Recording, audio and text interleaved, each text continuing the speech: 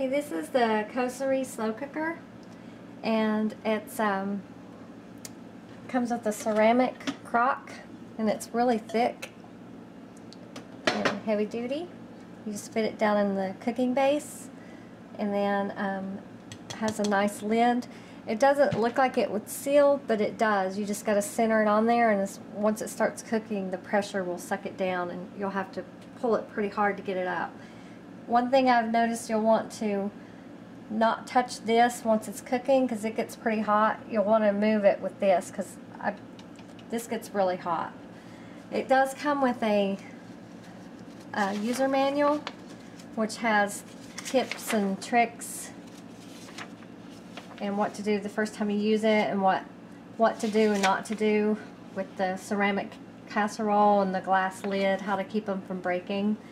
Um, helpful hints of when you how to cook things like to add like dairy products at the end. It's got for people you know that have it slow cooked a lot that'd be helpful.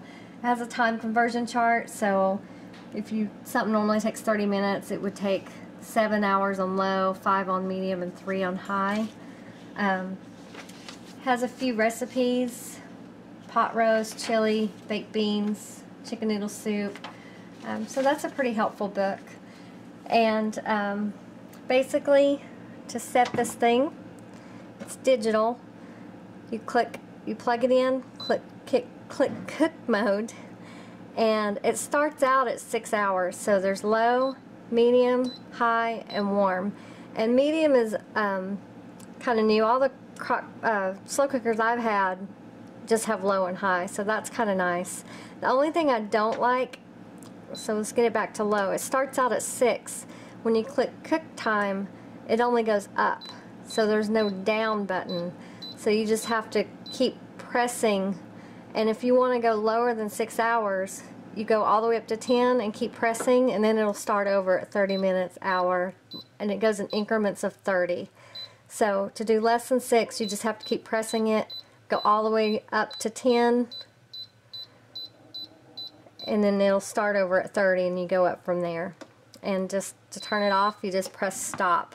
So that's my only beef with this thing so far is I don't the time is kind of inconvenient that you have to keep clicking clicking clicking clicking where it won't go up and down. Um, and my my personal suggestion is to use a slow cooker liner. I've had my other slow cooker for years and it's still the ceramic casserole looks like new because I've always used these bags. It's very hard to scrape that food off of those if you don't use these bags. And it will still do the suction. You just have to center it and then once it starts cooking it'll suck it down still. Um, but we're going to try it out. I'm going to try out a new recipe, gluten-free uh, chicken and dumplings. So we'll see how that turns out.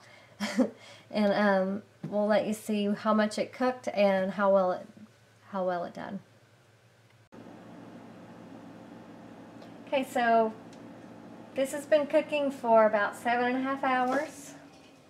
This is the, and you want to use a, a pot holder because this gets really hot, the handle, um, which is kind of scary. And this right here gets extremely hot. These are a little warm, so I would just use pot holders at all times. But it did a good job. There's my dumplings. This looks delicious. Everything cooked really even. I've already pulled the chicken out once and um, shredded it and put it back in there. So it cooked the chicken perfectly in about five and a half hours. I had three chicken breasts in there.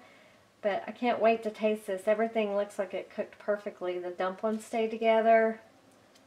It's going to be delicious. But you could see it made a good amount. I could have put even more in there, but the rest I just went by the recipe. Um, so it makes a good amount. This would feed several people.